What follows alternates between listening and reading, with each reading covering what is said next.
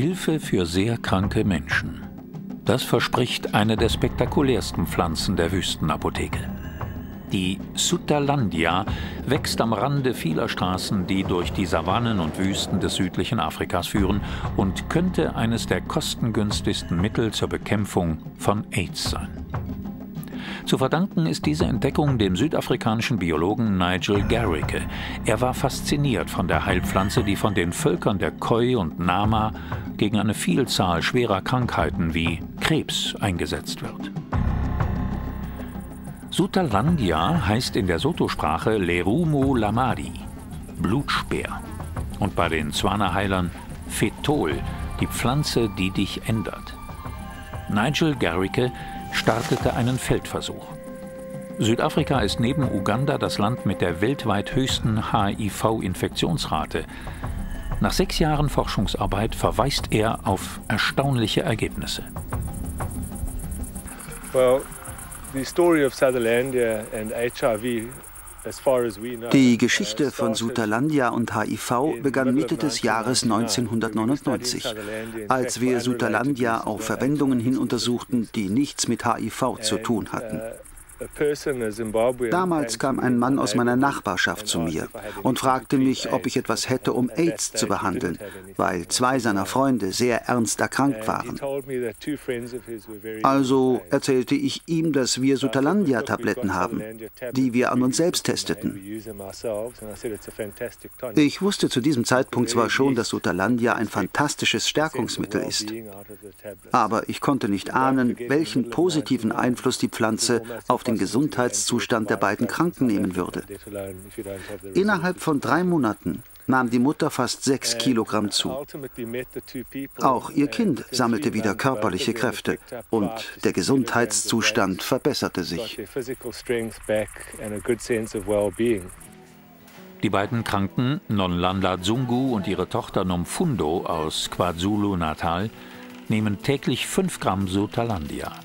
Die kosten rund 2 Euro im Monat. Sutalandia ist aber kein Heilmittel für AIDS. Es gibt derzeit kein Heilmittel für AIDS, weder auf natürlicher noch auf wissenschaftlicher Basis. Sutalandia spielt aber eine wichtige Rolle bei der ländlichen Bevölkerung, also bei Menschen, die keinen Zugang zu modernen Medikamenten haben. Sutalandia kann aber auch in hochentwickelten Gesellschaften wichtig werden, bei Menschen, deren Zustand sich durch die HIV-Erkrankung noch nicht so verschlechtert hat, dass sie moderne Medikamente benötigen.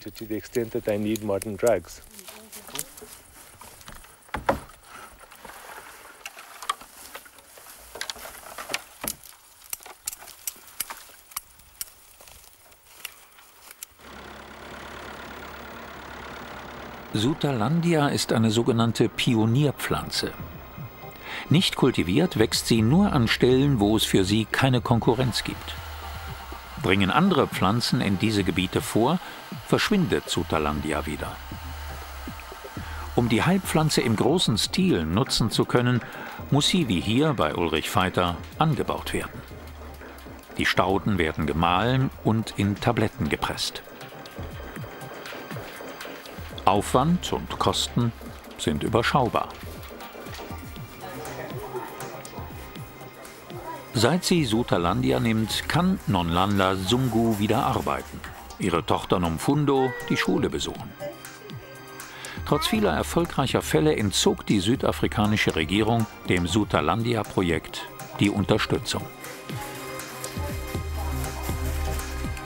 Dr. Gilbert Mazzabisa vom staatlichen Medical Research Center teilt die Skepsis seiner Regierung.